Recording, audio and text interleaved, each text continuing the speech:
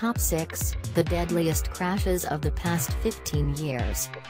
July 17, 2014, Malaysia Airlines flight MH17 crashes near Grabove in eastern Ukraine, killing all 298 people on board, 193 of them Dutch.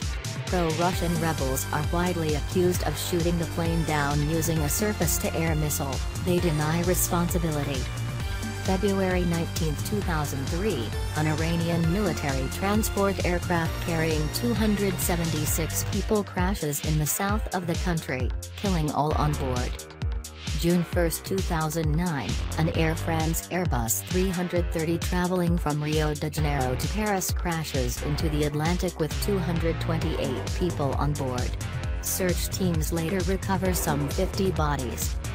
October 31, 2015, an Airbus A321, operated by Russian airline Kogalymavia, crashes over central Sinai some 22 minutes after taking off from Sharm el-Sheikh, killing all 224 people on board.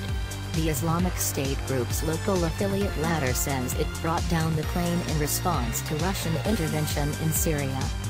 July 7, 2007, a TAM Airlines jet crashes on landing at Congonhas Airport in Sao Paulo, in Brazil's worst ever air disaster. A total of 199 people are killed, all 186 on board and 13 on the ground. April 11, 2018, an Algerian military plane has crashed near the capital killing 257 people on board, officials say.